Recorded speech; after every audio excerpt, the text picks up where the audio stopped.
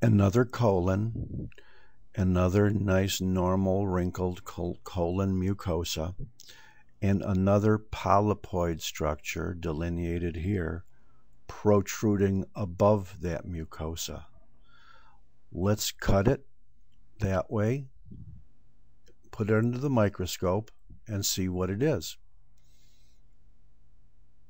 Well, we can see it's a polyp, and you can see that's why it's rising above this mucosa is because it has this stalk of connective tissue that's continuous with the connective tissue of the submucosa.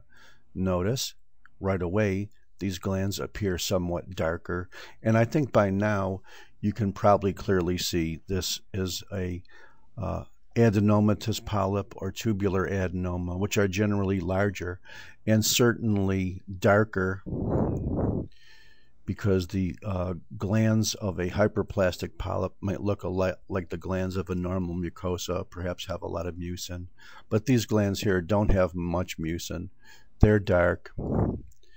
Uh, the nuclei aren't oriented that much towards the base uh, you could see that a lot of them decide they want to uh, undergo mitosis in an increased fashion.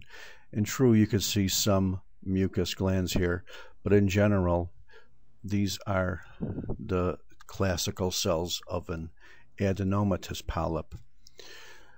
Uh, a long time ago, uh, some of us brilliant pathologists used to look very hard for this type of atypia with an adenomatous polyp until somebody said, Hey, stupid. All adenomatous polyps are atypical because they can all possibly turn into cancer. So why waste your time looking for atypia?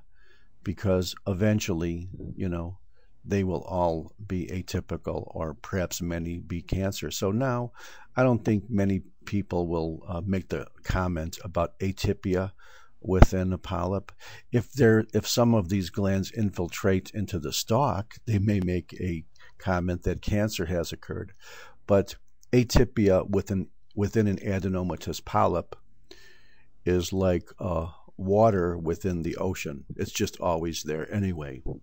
So I just wanted to review with you once again a classic adenomatous polyp normal mucosa, stalk, proliferated epithelium, which is always atypical. Thank you very much.